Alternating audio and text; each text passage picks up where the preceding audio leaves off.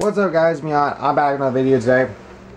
I've got another diecast review to do today. This is another, or I should say this is the other 124 scale diecast that I picked up uh, via via the Gypsy Tents um, up at Loudon this past weekend, which for that, if, if you want to see more on that whole trip, go ahead, go check out the playlist. Uh, linked in the description below. It's 20 videos. Most, majority of them are under a minute long. Um, but I had such a fun time. I can't thank my buddy Jonathan enough.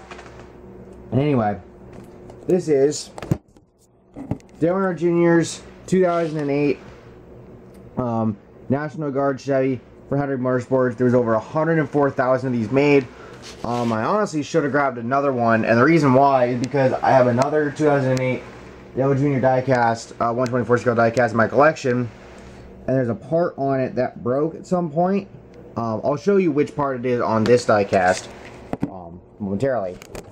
But there's a part on, on it that's broke, and I figured if I had a replacement, or like a, um, I'm not going to use this one obviously, but if I get another one, I will um, have to get one to replace that part. But anyway, here's the diecast out of the box momentarily, and there have been a few times where I've unscrewed 124s you know, off camera, but kept the video going. But this was not one of those times, simply because of the fact of how hard it was to get them off and I re to get the screws out. And I realized I needed a smaller screwdriver head than what I was using. But anyway, here is the diecast out of the box. And the one thing I noticed right off the bat, actually, is that this is that this front wheel here is wobbling a heck of a lot. I actually unscrewed the diecast and looked underneath just to see why, and I can't really find anything. Um, while I'm looking right here, I gotta set this up, sort of, kinda. Um, it's this part right here that broke. It was a part along here that broke somewhere at some point in time. I've only taken out the other diecast a couple of times, so I really don't know how it broke. It might have broke in the box or something. But either way, um, I need to get another 2008 Dale Jr. diecast um, to replace that part. But anyway, here again, of course, like I said, is the diecast.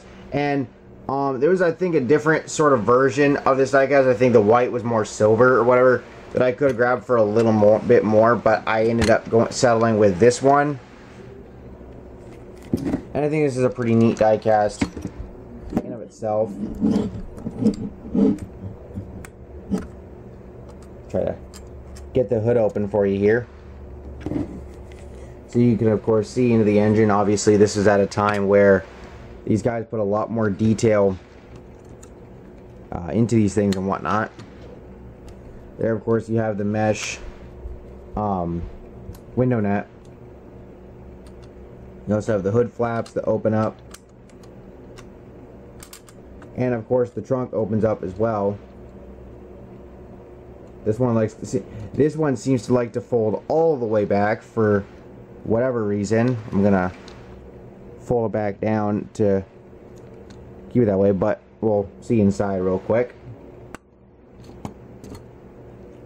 But obviously, you know, with Dale Jr. and you know, obviously I'll talk briefly about my Loudon trip because obviously, like I said, um, you know, I have the video, the playlist um, here on the channel. I had so much freaking fun. It was an absolute blast to get to be at Loudon and Stafford on Friday night as well. Both for the first time. I, I truly enjoyed it. And with this diecast, I'll also say that I like the blue on it. Uh, it looks really neat but yeah so again i don't i i can't really find anything wrong other you know as to why this wheel is like this other than the fact that it is super wobbly and like the other one you don't really see that. So uh, i guess i'll just have to leave it in the box and try to be careful with it. But with all that being said thank y'all for watching. I hope y'all enjoyed. If you did please make sure to drop a like and subscribe for more content like this and i will see you all next time Peace. Actually, one, one more thing. There's another diecast I'm going to review, uh, but I'll probably end up doing that tomorrow. But like I said, peace.